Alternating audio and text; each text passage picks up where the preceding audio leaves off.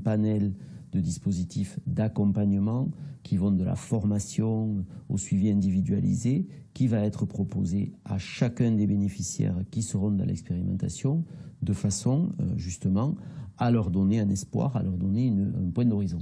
Il n'est pas question, pour le dire trivialement, de couper les vivres à qui que ce soit. Il est question de remettre le pied à l'étrier à tous ceux à qui nous pourrons remettre le pied à l'étrier.